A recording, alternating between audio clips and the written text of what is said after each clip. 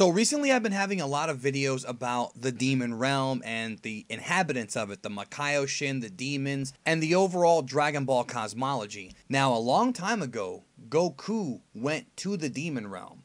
And on this video I want to have a discussion about that, the actual story behind the story and how it may tie into what the demon realm would become and how it may have inspired Toriyama for ideas that would come later in the series. So let's go back and talk about Dragon Ball.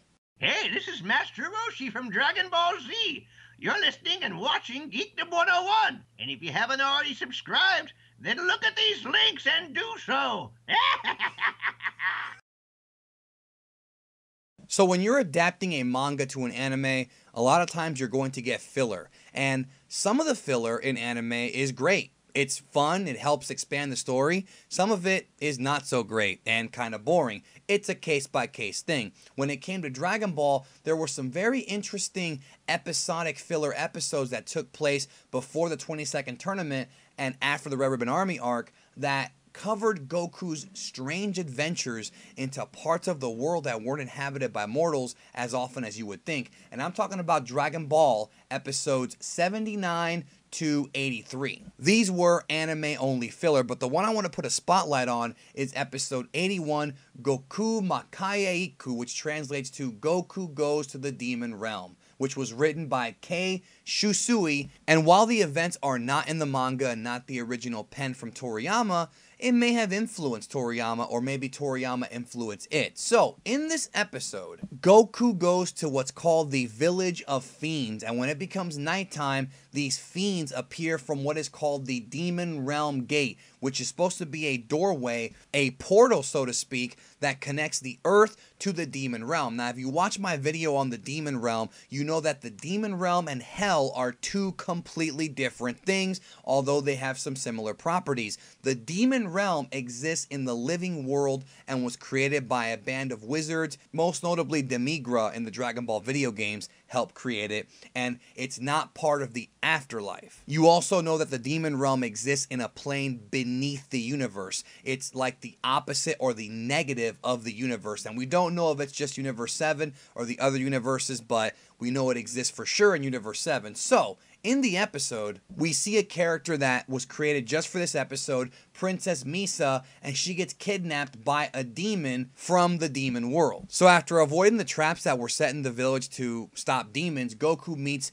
Princess Misa's parents, the king and the queen of the village, and they want Goku to help find their missing daughter. And after being impressed by Goku's combat ability, pits him against the leader of the demons, Shula. Now, it's never said that Shula is the king or the god of the demon realm. We know that the Makaioshin are the gods and that Dabura is the king, but we'll talk about that more later. But it does say he's the leader of the demons, but it's implied that he's the leader of just this band of demons who seem to be causing problems for these people. So Goku enters the gate of the demon realm and he is warned ahead of time be careful fighting Shula because he wants to marry the princess. And Shula is a very potent martial arts master. So what happens is they have like a little mini tournament where Goku ends up fighting Shula and ends up rescuing the princess by using a Kamehameha to blind the demon and then rescuing and escaping with the girl. Goku would save the day even further by pulling out Shula's sword and sealing the portal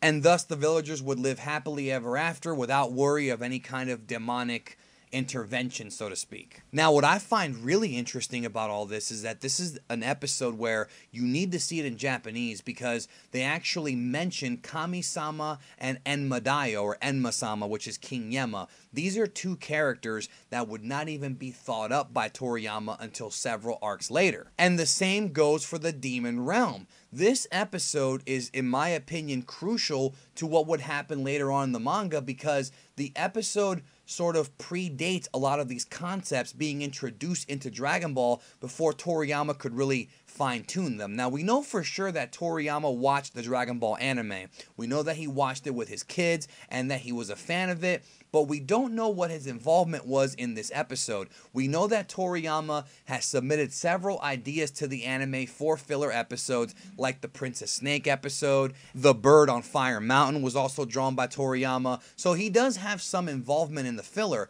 but we don't know if he actually has involvement in this particular episode. But if he doesn't, could it be that Toriyama took inspiration from this episode to create his cosmology later on in the series to create his god hierarchy or at least kind of plant the seed for what would become the god hierarchy all based on a filler episode in Dragon Ball? You have to remember that the word Makai is used quite a bit in Japanese, and the demon realm concept is used in tons of fiction over there manga, anime. So, what's most likely the situation is that Toriyama probably came up with the idea of Dabura and the demon realm totally separate from this, but it's still kind of interesting to link these two together. But I feel like we need more evidence before we can actually say that Toriyama was inspired by this filler. So, again, this is one of those mysteries in Dragon Ball that may never get an answer, but I still find really interesting that these concepts were introduced so early in this story